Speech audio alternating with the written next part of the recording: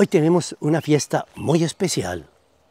Tenemos un acontecimiento bien específico que no debemos pasar por alto y que este Evangelio ilumina perfectamente. Del Evangelio de San Marcos, capítulo 16, versículos 15 a 18. En aquel tiempo se apareció Jesús a los once y les dijo, vayan al mundo entero y proclamen el Evangelio a toda la creación. El que crea y se bautice, se salvará. El que se resista a creer, será condenado. A los que crean, les acompañarán estos signos. Echarán demonios en mi nombre. Hablarán lenguas nuevas. Cogerán serpientes en sus manos y si beben un veneno mortal, no les hará daño.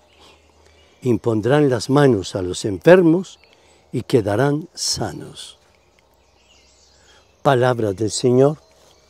Gloria a ti, Señor Jesús.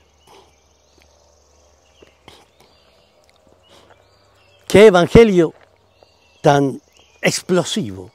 Es como un pequeño átomo que al explotar da una gran luz y da un gran dinamismo y produce una gran energía. Porque el Evangelio es corto. Vayan por el mundo entero y proclamen, anuncien, pero también obren, sanen, curen, lleven siempre alivio a todos aquellos que le rodean. Es una invitación para cada uno de nosotros. Y hoy la iglesia nos presenta un ejemplo maravilloso en un hombre en un hombre que era religioso profundo.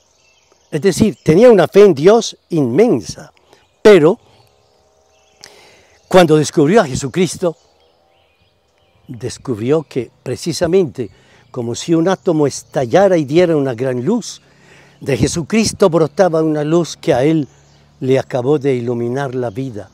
Y lo hizo el gran apasionado por Jesucristo su evangelio y su iglesia.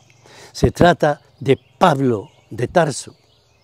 Se trata precisamente de la conversión de San Pablo, nos dice hoy esta fiesta, que no quiere decir la conversión de un grandísimo pecador a un gran hombre bueno, no, es la conversión de un hombre bueno a un hombre santo, a un hombre mejor.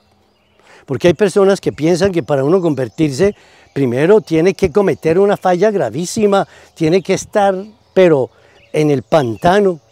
No, uno puede estar en la vida cristiana, en la búsqueda del bien, mas sin embargo el Señor llamarle a una vida mejor, a una vida más santa, a una vida plena de su Evangelio.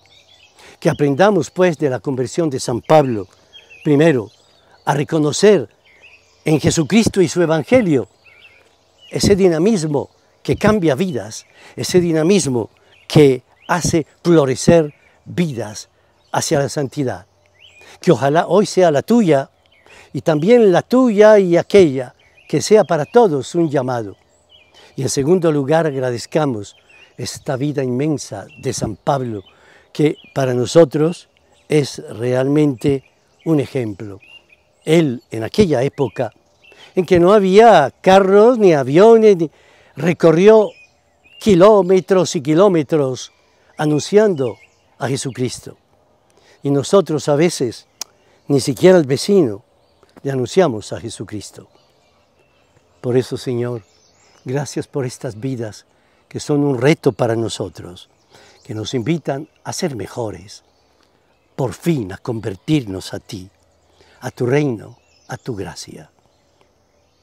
Nos bendiga el Señor en el nombre del Padre, del Hijo y del Espíritu Santo.